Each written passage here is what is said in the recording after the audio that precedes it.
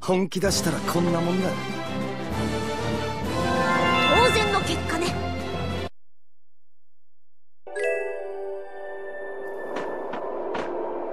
クリティア族の町があるってのは聞いたことあるがどこにあるか知らなかったな。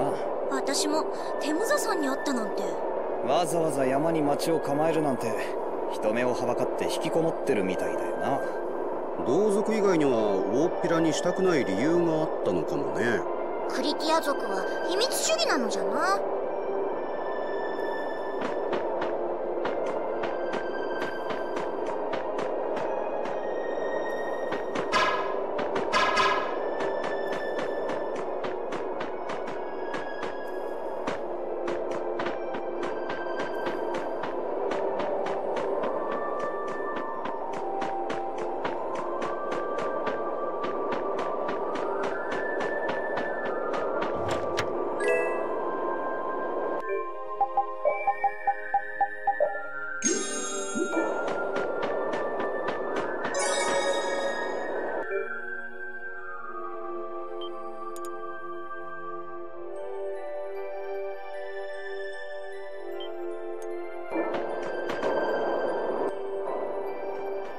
ここがジンマ戦争の戦場だったことはもう知ってる？ああおっさんに聞いた。ジンマ戦争。あの戦争の発端はあるブラスティアだったの。なんですって？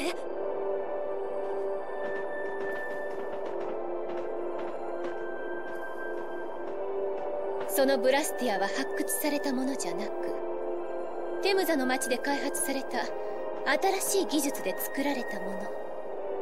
ヘルメス式ブラスティヘルメス式？初めて聞いたわ。それに新しく作られたって？ブラスティアって新しく作れないんじゃないのかの？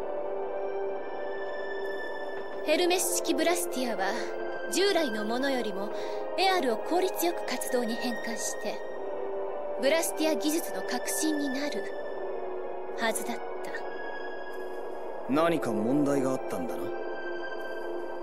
ヘルメス式の術式を施されたブラスティアはエアルを大量に消費するの。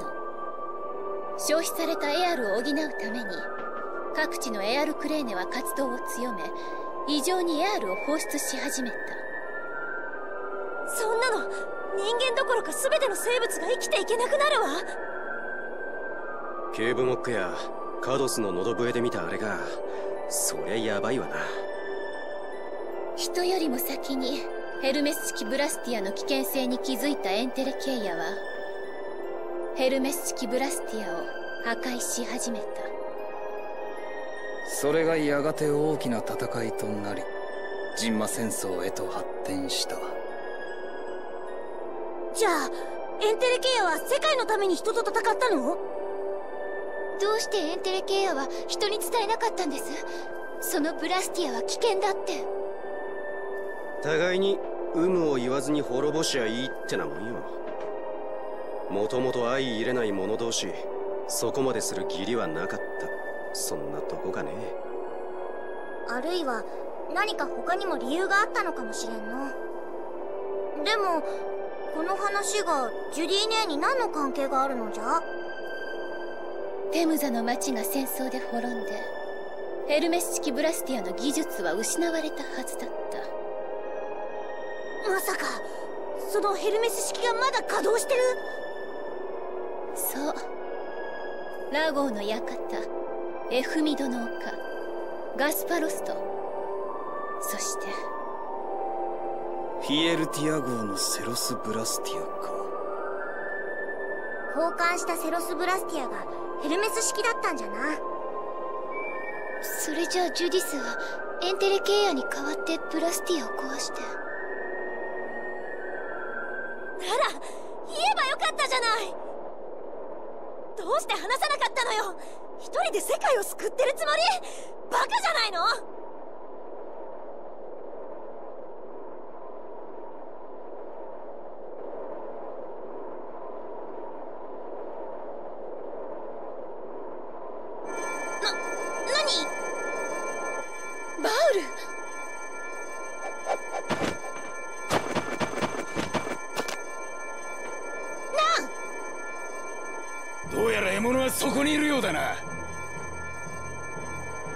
ないわ。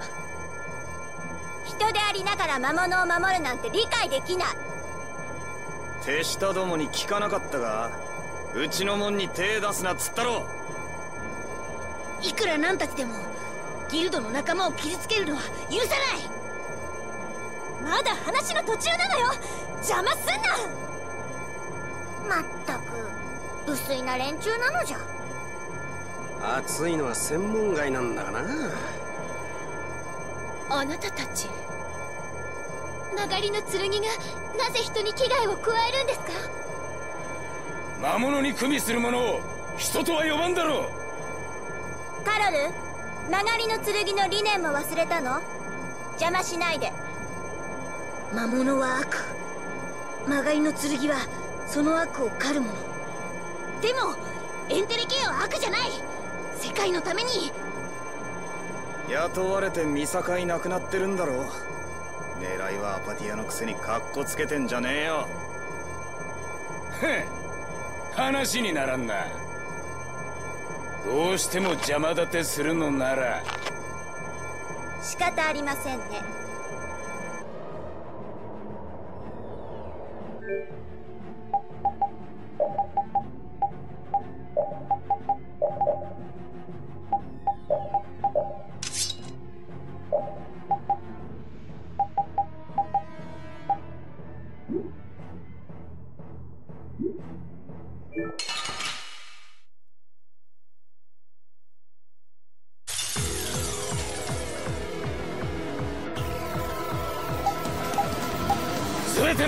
ての魔物は退治されるべきなのだ。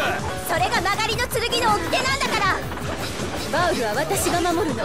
命を懸けても。得体が知れないものイコール悪ってのは短絡的な思考だな。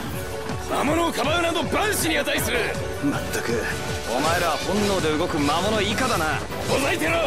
魔物狩りに関しては俺は譲らん。じゃあ譲れねえ同士ぶつかるしかないってことか。どうなっても知らないわよさ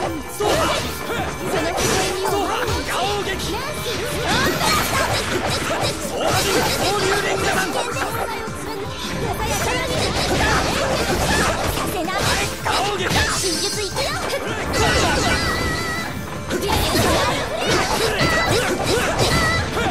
まだ開けたくないのにその微笑みを我々に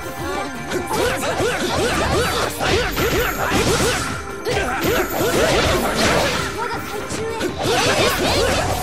ンカ総流連がだ。面白くなってきやがって。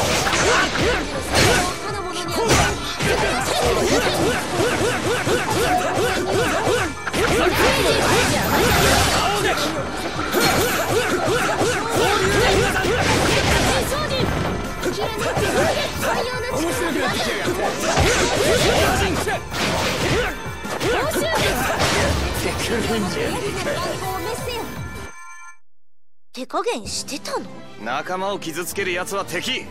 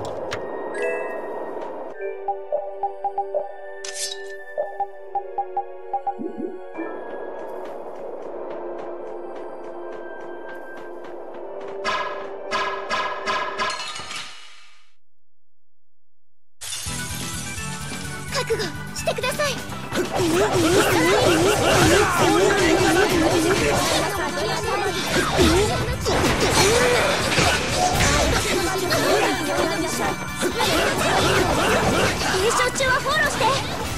オッケー。よ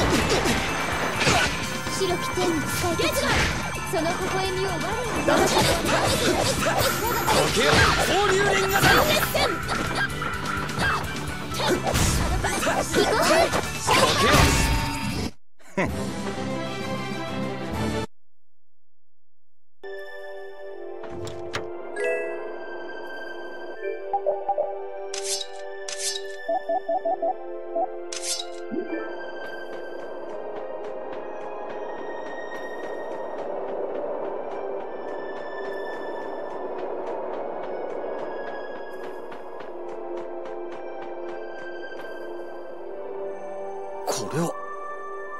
バウルは成長しようとしているの。エンテレケイヤとしてね。苦しそう。頑張って。バウル。頑張るのじゃぞ。ダメ。怪我を治してあげたくても何もしてあげられない。あなたにとって私の力は毒なんですよね傷を癒せるってのがエステルの力じゃないぜ。ベリウスの言葉。覚えてない？力は己を傲慢にする。だがそなたは違うようじゃな。他者を慈しむ優しき心を大切にするのじゃ。慈しむ？心バウルにも伝わっているわ。きっと。あなたの気持ち。まあ今は見守ろうじゃないの。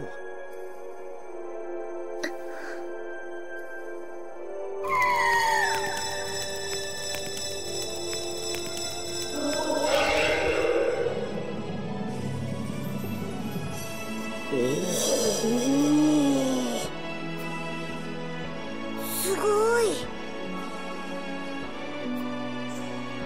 頑張ったわね。バウル。どうやら相棒はもう大丈夫のようだな。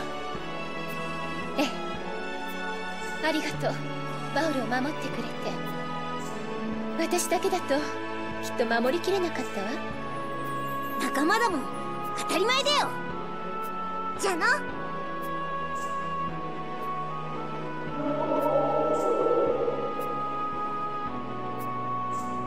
言ったでしょ？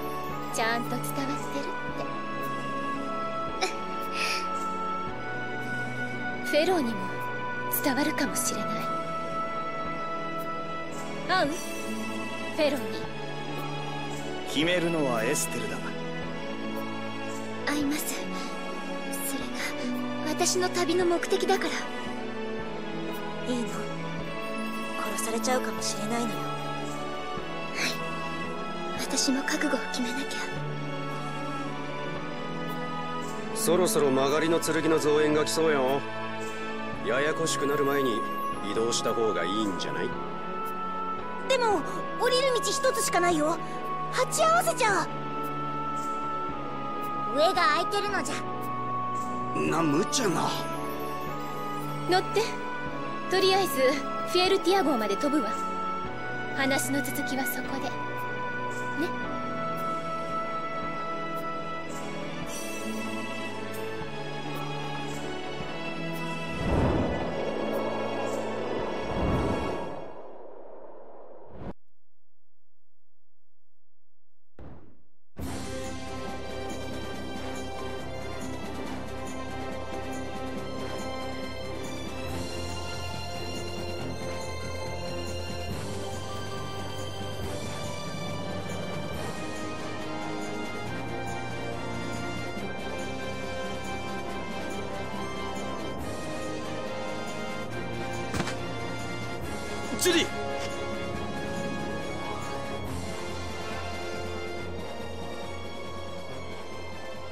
疲れてたんでしょう。眠っています。いきなり倒れちゃうんだもん。びっくりしちゃった。成長のために動けなかったバウルを寝ずに守ってたんだろう。曲がりの剣がいつ襲ってくるかわからなかったろうしな。割と平然としてたけど今までも無理してたのかもね。バカなのよあいつも不器用なんだから。でもよかったのじゃ。ちゃんとジュディ姉を助けることができて。ジュディの話の続きは明日だな。今は寝かせておいてやろうぜ。俺たちもちょっと休もう。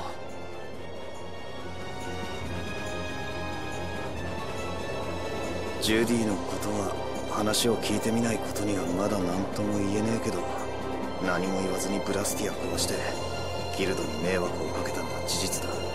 どんな理由があってもその事実がなくなるわけじゃねえ。けじめはつけねえとな。ただ待ってるってだけは俺の性には合わない